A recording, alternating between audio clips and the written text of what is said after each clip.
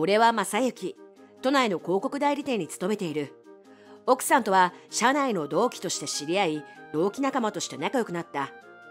社内のイベントがきっかけで付き合うようになりその後順調に結婚して今ちょうど5年目。子供にも恵まれて幸せに暮らしているんだけどうちの奥さん気がめちゃくちゃ強いんだよね。俺は普段はほとんど会社にいるからその気の強さが今までは気になってなかったんだけどさ。でもこの新型の感染症のため3月から自宅勤務になって毎日奥さんと接していると奥さんのきつい感じが日に日に応えるようになってきた。でもそんなある日近所のホテルが在宅勤務応援としてテレワークプランを始めたんだ。ということで近くのホテルにしばらく宿泊することにしたよ。無駄な出費じゃん。そんなことにお金使うんだったら前から欲しいって言ってる電子レンジ買い替えてよ。電子レンジも俺が働いてるから買えるんじゃない？ということは俺が仕事に集中できないとお金入ってこないじゃん。集中できないのは自分の責任でしょ？私は子供の世話で毎日こんな感じなんだから。私の大変さが分かったでしょ？自分だけ集中できないなんてむっちゃおかしいよ。ストップお前と議論するつもりはないからさ。会社からも少しだけどテレワークの補助金が出るみたいだしさ。補助金？ビビたるもんでしょ？それより子供を近くの公園に連れてってよ。私も少し自分の時間が欲しいから。ちょっと待て。話の趣旨が違ってきたぞ。とにかく明日からホテルに宿泊するからなとにかく今から子供を遊ばせてきて。子供が外で遊べなくてかわいそうだと思わないの？ああと帰りにコンビニで牛乳買ってきて。日付ちゃんと見てね。新しいのは奥の方にあるんだから。手前から取らないでね。いつも賞味期限が近いのを買ってくるんだから。気をつけてね。わかったよ。こんな感じで俺と妻とは話が合わない。妻は一方的に話をするし俺の話も全く聞かない。出世コースからは外れるかもしれないけどいっそのこと単身赴任になりたいくらいって思って毎日過ごしている。あまるまるホテルですか？明日から5泊で予約したいんですけど。あ大丈夫ですか？じゃあ明日朝10時にチェックインします。その晩俺は弾んだ気持ちで荷造りをした。まるでちょっとした小旅行気分だ。正直あの妻から解放されるんだったらお金を多少払っても気にならない。ああ気分がすっきり。これでいろんなことに集中できるぞ。まずは会社からのメールをチェックしよう。あでもあんまり重要なのが来てないじゃん。テレビでも見るかな。なんだよ。全部新型の感染症のニュースじゃないか。つまんないな。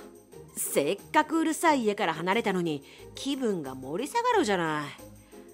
おなんだこれ。家だと思う存分見れないからちょっとだけいいね。結構ラインナップ揃ってるじゃん。なんだかモヤモヤしちゃった。あそうだ。千春を呼ぼう。千春は俺の会社の後輩。前に飲み会の帰りに一回ホテルに連れ込んだことがある。向こうも俺に奥さんがいるのを知っているしそこのところは割り切った関係ってことでうまくいっている。俺も広告代理店マンとしてまだモテるし俺の奥さんじゃ他の女が良くなってもしょうがないよな。浮気は俺のせいじゃない。あいつのせいだ。あちちいちゃん。俺正幸。今まるまるホテルなんだけど一緒にテレワークしない？近くにいた方が仕事はかどるしいろいろお手伝いしてほしいんだけど。あお疲れ様です。いいですよ。退屈してたし1時間後ぐらいには行けます。オッケー。待ってるね。お疲れ様です。ビール買ってきました。え？勤務中にやばくない？でも気が利くね。さすがちーちゃん。乾杯ちーちゃんは気が利いてうちの奥さんとは大違い。ちーちゃんと結婚したかったな。またそんなこと言っても騙されませんよ。いやマジで。ちーちゃんとなら毎日幸せ最高。そんなこと言って浮気しそう。しません。僕はしませんから。ウケる。さあ何をお手伝いします？じゃまずはこれを脱いでこれも脱いであとこれも。そうすると私裸じゃないですか。俺も裸になるから大丈夫。えー、大丈夫じゃない。こっち来なよ。あーすっきりした。あやばい。ビデオ電話かかってきた。あはい。お疲れ。お自宅じゃないの？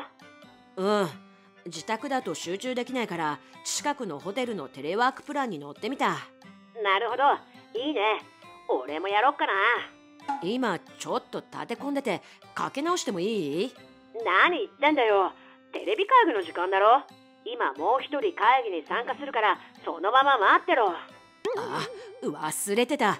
でも困るな。ちょっとだけ外していい？何言ってんの。時間決まってんだからダメだよお疲れ様。お疲れ様。みんなメール見てる？資料届いてると思うんだけどメール開封した？うん。A 社の来期のテーマ CM についてだよな。これ受注できたらでかいよな。うん。今こんな状況だけど来期を見据えて頑張ろうね。ううん。そうだね。あれ？今誰か通ったよね？誰も通ってないよ。幽霊じゃない？いや声がするよ。テレビだよ。いや千春だ。俺は見た後輩の千春がバスタオル姿で後ろを通ったぞ。正幸ちょっとまずいんじゃないの？何やってんの？違うんだよ。手伝ってもらっていただけ。本当にそれだけ？バスタオル姿で？頼む。黙っててくれ。頼む。この通り頼むその後女性の同僚が議事録のため録画していたビデオ会議を奥さんに見せてしまい浮気が奥さんにバレてしまいました。もともと気の強い奥さんは浮気を怒りまくり弁護士を雇い離婚と慰謝料を請求してきました。奥さんは恥をかかされたと憤り俺は全財産を失う勢いです。千春も会社を辞めていきました。正直彼女の顔も今は思い出せません。奥さんの友達は俺の友達ってことで浮気のせいで俺の評判はガタ落ち。友達も失いかけています。社内結婚っていいことないよな。会社からも勤務中に不謹慎なことをしていたことでペナルティを受け俺は地方に左遷になりました。確かに一瞬地方に移動を願っていた時もあったけどこんなのは望んでいない。ただし左遷先で離婚の理由を聞かれた時は新型感染症のせいでって言ってます。意外と便利な言い訳です。